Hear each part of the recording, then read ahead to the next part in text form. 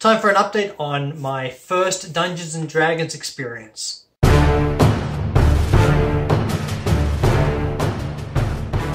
Uh, so last night was our second night of our Dungeons and Dragons campaign. Successful night again, uh, a lot of fun.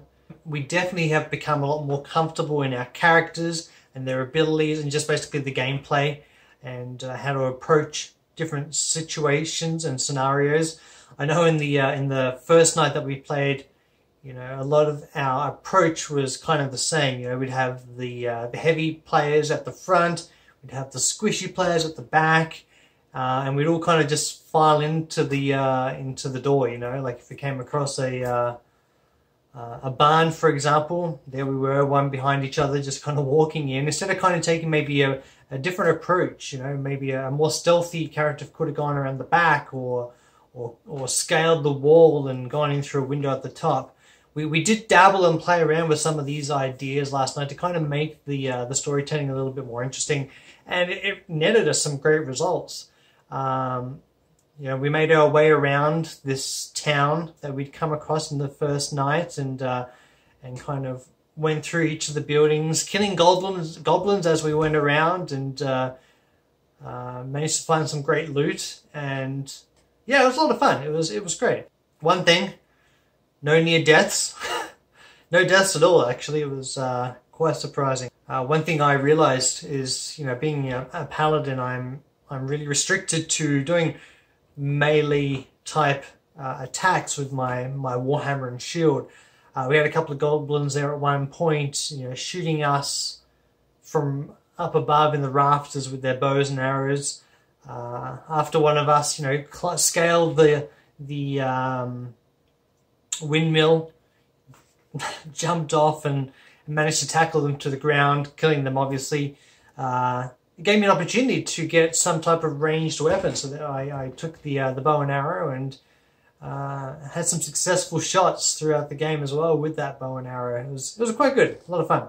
The best thing about last night is we all leveled up, so we're all level two now, which is great. Uh, kind of gives us more flexibility with uh, one creating our character and two the way we fight and having more options available to us. So for Gazgar, my paladin, what that meant was it opened up a fighting style, uh, which I ended up choosing dueling, which uh, adds two damage when I'm wielding a weapon and shield, which is what I'm doing at the moment um, with my Warhammer and shield. It gave me the ability for spell casting, which opened up two uh, level one spells.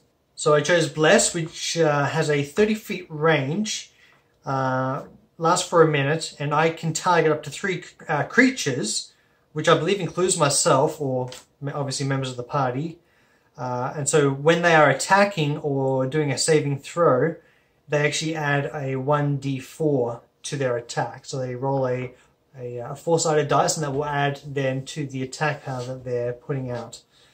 And the second one that I chose was uh, being the paladin, being the uh, the healer style, support style character. I went with the cure wounds which means when I touch somebody, I uh, roll a, a 1d8, uh, adding my spell casting ability modifier, I, that individual then gains hit points effectively. So I'm, I'm, healing them further, which is nice, which I think will uh, complement my lay on hands that I had when I was a level 1 character.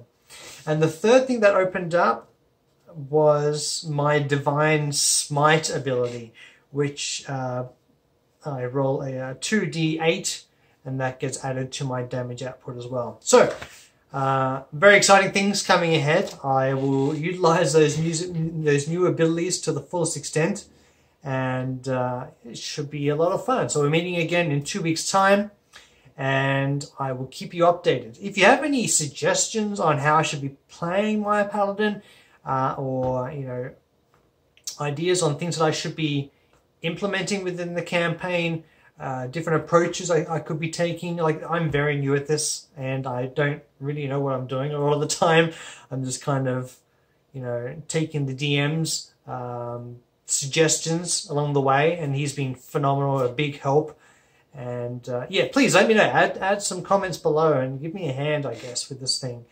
Uh, please subscribe as well. I'm going to I'm, I'm committing to two videos a week uploads uh, on a variety of different things. Obviously, this D&D campaign. I have a bunch of board games behind me, as you can see, that I need to create uh, playthroughs and instructional videos on how to play the games as well. So yeah, plenty of content on the way. So please um, join me as we go through this little project and I will speak to you soon. Thanks very much. Bye.